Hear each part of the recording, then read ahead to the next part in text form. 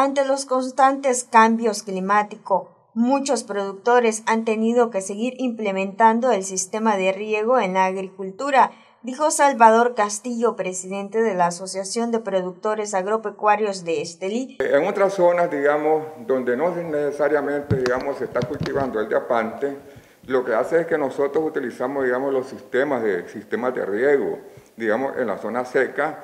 En este aspecto lo podemos hacer, digamos, a través del sistema por goteo o bien lo hacemos, digamos, bajo el sistema de, de aspersión.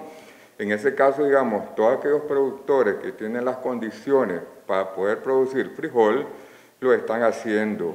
Entonces yo creo que nosotros, digamos, como productores constantemente siempre estamos produciendo y logrando, digamos, este resultado que son de mucho beneficio para la población, de que no les vaya a fallar lo que es, la, lo que es el grano básico. En este caso, digamos, nosotros como productores siempre estamos garantizando, digamos, la, lo que es la alimentación con la población, siempre estamos trabajando, salimos de un cultivo y entramos a otro cultivo. En las actuales condiciones, los productores realmente vienen buscando las alternativas de buscar eh, cómo seguir produciendo, no solamente, digamos, este, ubicarnos en una sola producción, porque mientras nosotros tengamos las condiciones en la tierra, que ya las tenemos aradas, ya han estado abonadas porque hemos sembrado otro tipo de cultivo, entonces nosotros seguimos produciendo en esa tierra un tipo de cultivo diferente. Castillo agrega que en el mes de marzo saldrá la cosecha de apante y esperan tener buenos resultados,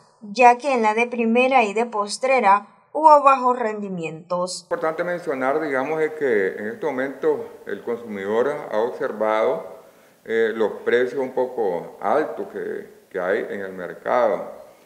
Y esto prácticamente se debe a que lo que fue, digamos, la, la siembra de, de postrera, hubiera una baja en los rendimientos de producción, porque acordémonos que prácticamente el cambio climático nos afectó muchísimo este año, tanto en la siembra de primera como en la de siembra de postrera. Entonces, los rendimientos no fueron los óptimos que nosotros podíamos haber estado esperando. Sin embargo, en lo que es la siembra de postrera, eh, se logró, digamos, aún cuando los rendimientos no fueron muy buenos, pero sí fue una buena cosecha. Noticias 12 Darlene Telles.